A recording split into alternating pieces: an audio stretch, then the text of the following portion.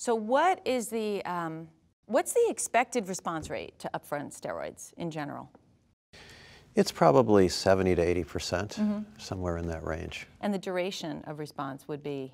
Uh, well, the duration is is is uh, for standard prednisone is is as long as they continue prednisone because classically in adult ITP, when you taper, um, as you taper, you're going to start to see a fall in the platelet count. In, in most cases, occasionally not, uh, but I'd say more often than not you do. And by the time you're out to two and a half, three months and getting off that taper, um, you know, what I see with a lot of patients referred is this seesaw pattern. Yeah. You know, they, they, they fall, they, get an, they go back on high dose prednisone again, yeah. they taper, they fall. And so I don't, I don't like the seesaw. I don't like chronic steroid exposure. I think the toxicity of steroids is really, I don't know how many patients I've seen referred to me who have come in and they've gained 30 pounds, mm -hmm. you know, over the 40 pounds over the previous four months because sure. they've been on steroids almost continuously.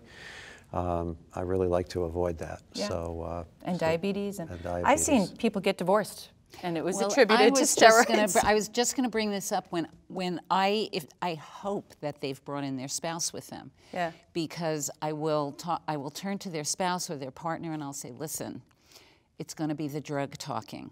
Yeah. Um, remember that people seem to become more of whatever they are, huh. um, and you know, more inflammatory, more reactive, and I think it's really important um, to tell everybody around them that this could be a tough haul. I had one patient who, um, whenever he had to, when he got IVIG, which was the only thing at that point, this is years ago, that was working. We had to give him steroids along with it.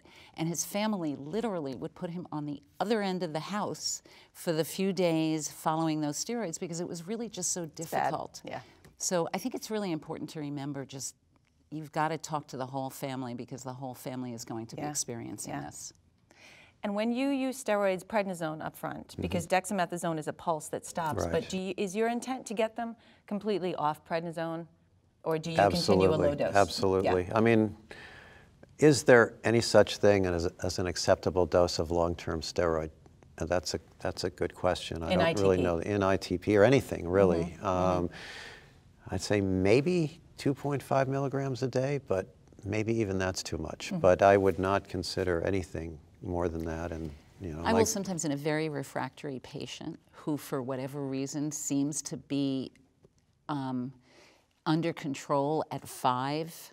I'll allow that because I've that's a lot. That. Right? Yeah. yeah. they say it's a physiologic dose. They but say, it's not without side effects. Right. It's not without side effects. The patients will tell you, I, I do feel differently, but it's usually tolerable. I'm not happy about it, mm -hmm. but there are patients, you know, rather than go to something that's very immunosuppressive, or that's going to be, you know, something that we don't know what the long-term effects may be or that I think is not going to last if I know they're responding. And it's interesting, you know, you can sometimes see these patients who they're fine at five milligrams, you try and take them down to four and boom, yeah. they relapse. Yeah. And the patients sometimes get very, very sensitive to these small changes in dose. And then you have to go back and do the whole thing or switch mm -hmm. to mm-hmm. another therapy. Well, or at least come up a little bit yeah. and, you know, so. Yeah. And that's that seesaw that we're always trying to avoid because it's so hard on the patient. Absolutely.